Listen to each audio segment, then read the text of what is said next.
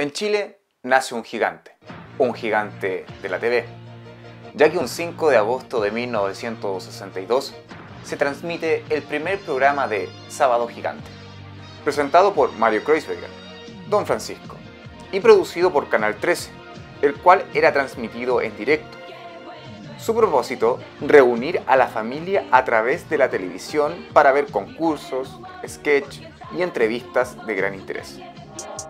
Pero a 23 años de su primer capítulo, este programa sería testigo de un hecho que marcaría a la televisión chilena, ya que un 17 de agosto de 1985 transmitirían en vivo un supuesto ovni.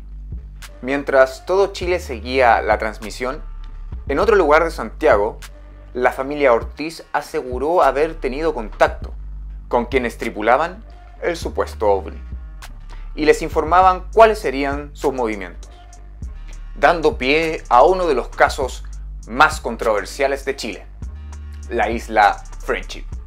Mi nombre es José Luis y junto a Marcelo Moya y José Eugenio Ford te esperamos este jueves, 21 horas, por Ufolix.